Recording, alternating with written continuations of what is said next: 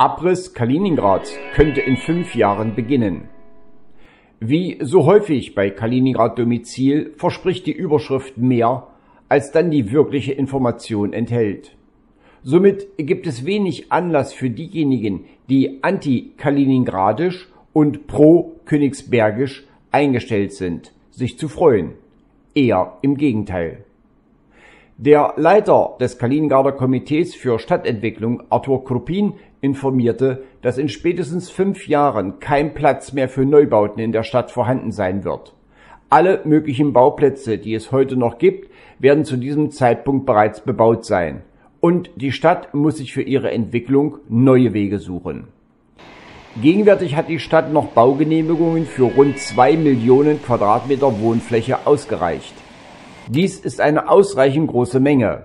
Allerdings, so kommentierte Krupin, werden wohl nicht alle Baufirmen die Genehmigungen wirklich praktisch nutzen.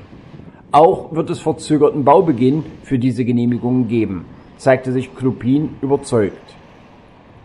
Allerdings zeigt der Generalentwicklungsplan für Kaliningrad den Bau von 10 Millionen Quadratmetern Wohnfläche aus.